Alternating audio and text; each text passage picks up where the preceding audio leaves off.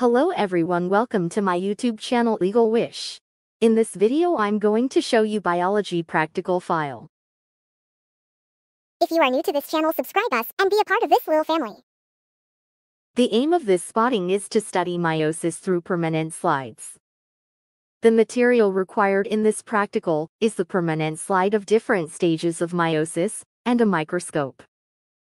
In theory we will give a brief description about meiosis, such as meiosis is also known as reductional division.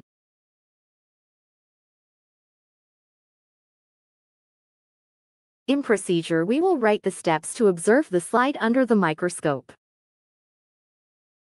In observation we will mention the about the meiosis which is occur into stages meiosis 1 and meiosis to both phases are divided in four stages prophase metaphase, anaphase, and telophase.